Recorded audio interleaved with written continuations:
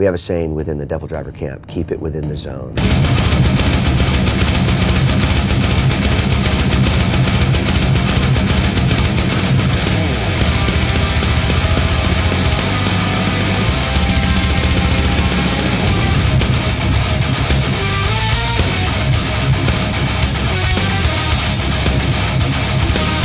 Well, I watched my previous band fall apart on hard drugs, so I know exactly what it's like to, you know, go outside of the circle and get outside of the zone.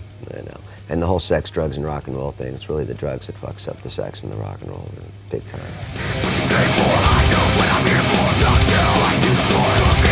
Everybody has, has had their overindulgences, you know, uh, on tour. I've been on tour for a, a long time, and I mean, so of course I've tried to keep everything. Uh, you know, inscribed within the circle, you know, that's, but uh, you come out of pocket once in a while, you know.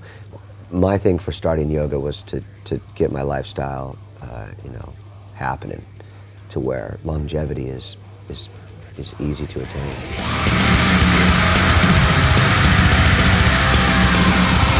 It's when you get older you have to figure out what to do with yourself. Out here on the road, it's a, it is a routine. You have a certain time you're usually going to bed, a certain time you're waking up, when you're doing press, when is allotted for just you before the show to have you know a glass of wine with friends and sit you know after the show what you're going to do. I, I, like the whole regimen of things. And if it gets groundhoggy groundhog day then it gets good for me. I like when there's 16 17 20 shows in a row and that way you can just start start hitting it start getting in the groove you know?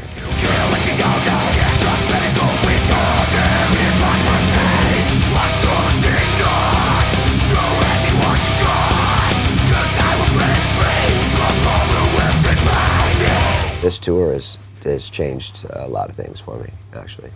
I came on this tour and uh, uh, with uh, my stepfather having cancer and my best friend uh, having cancer passed away while I was on the tour. Uh, I missed my 10 year anniversary and my wife's birthday and Halloween. So this is, this is never going to happen to me again. I'm going to have to adjust what is personal and what is sacred to what is work and what is business and since it's art, I juggle that in between as well.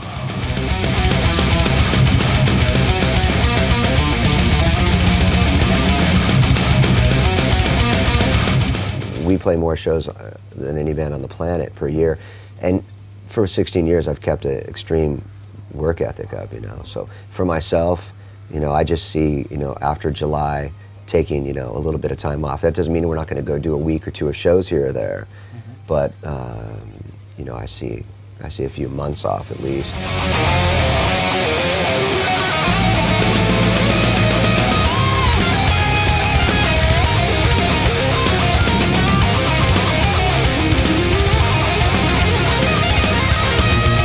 We want to have a record out by the end of 2013. I mean, for sure. Mid to mid 2013, before Halloween, without a doubt. And uh, we're just starting to find that sound. And I think it's going to be really, really intriguing to me, for sure, what the next four or five records holds. Because I think it's going to get epic now. I think what we're going to do is take what we're doing and we're going to start stepping outside ourselves even more and, and really, you know, taking things to the limit.